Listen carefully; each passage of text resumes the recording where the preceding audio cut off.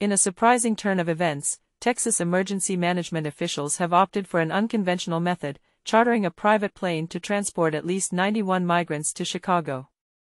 This marks the first instance of a private plane being utilized by the state for such a purpose, signaling a potential escalation in Republican Governor Greg Abbott's efforts to influence the political landscape and stir discord among Democratic voters.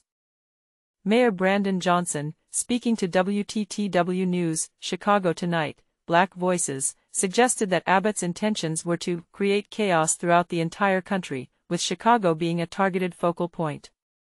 The plane, originating from El Paso, Texas, landed at O'Hare International Airport, carrying migrants who had crossed the southern border and sought asylum due to economic collapse and political instability.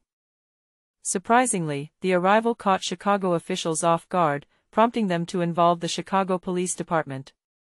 According to reports shared with WTTW News, the plane's tail number was traced back to the Texas Division of Emergency Management.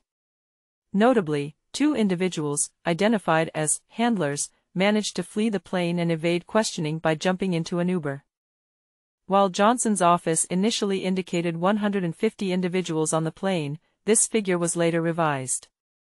The migrants are currently residing at O'Hare, adding to the nearly 300 people already living there. Abbott's spokesperson mentioned that 120 people were on the flight, framing it as the first to Chicago, especially as the city tightened regulations on buses not adhering to drop-off rules.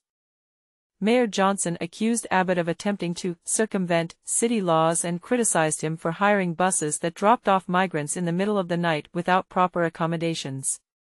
In response, Abbott's press secretary Andrew Mahaleris defended the action, linking it to Chicago's perceived failure to comply with the Welcoming City Ordinance.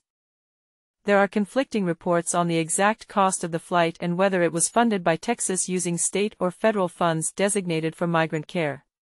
In addition to the flight, three buses paid for by Texas officials arrived in Chicago, with more expected.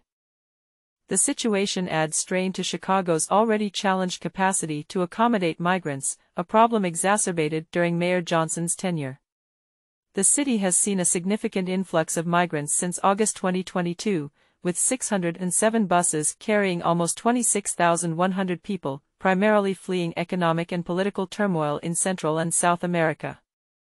Mayor Johnson placed blame on Abbott for the challenging conditions migrants face upon arrival, citing a still unexplained death of a five-year-old in a Pilsen shelter the situation underscores the ongoing tensions between various communities in Chicago and the strain on the city's resources in addressing the needs of incoming migrants.